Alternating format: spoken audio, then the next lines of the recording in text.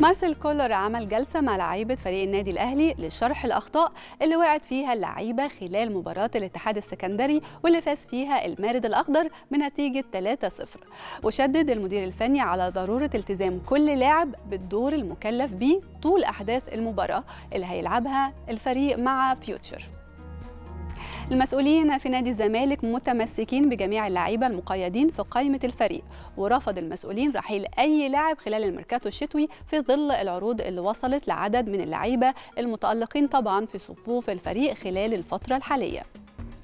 ونروح للأخبار العالمية والاتحاد البرتغالي لكرة القدم. أعلن إقالة فرناندو سانتوس المدير الفني للمنتخب البرتغالي بعد رحلة طويلة على رأس الجهاز الفني اللي استمرت من سبتمبر 2014 ولحد نهاية مشوار المنتخب في نهائيات كأس العالم 2022 النجم حكيم زياش لاعب منتخب المغرب ونادي تشيلسي الإنجليزي وجه رسالة للجماهير المغربية بعد الخسارة من فرنسا وقال أنا فخور جدا بفريق المنتخب المغربي المذهل. قدمنا كل حاجة لحد آخر لحظة وكل ده ما كانش هيتحقق من غيركم.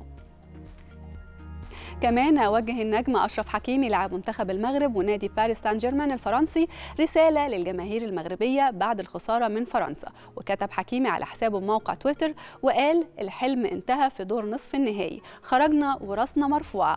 وهنستمر في العمل وهنبذل كل جهدنا من أجل هذا الوطن.